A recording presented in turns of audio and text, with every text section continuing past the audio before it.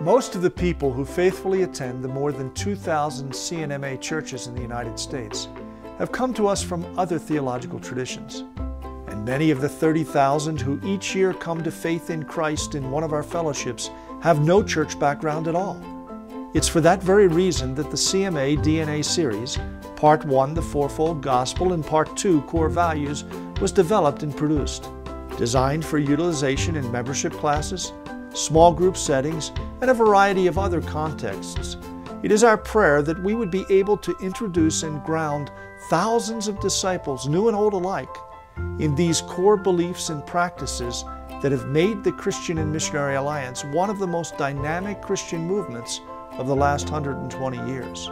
I firmly believe that this series will be one of the most effective discipleship tools we have ever produced.